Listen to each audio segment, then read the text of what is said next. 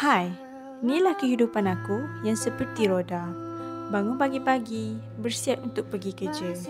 Lepas tu, drive terus menuju ke destinasi. Duduk depan laptop, selesaikan kerja yang tak pernah sudah. Cukup masa, siap-siap untuk balik pula.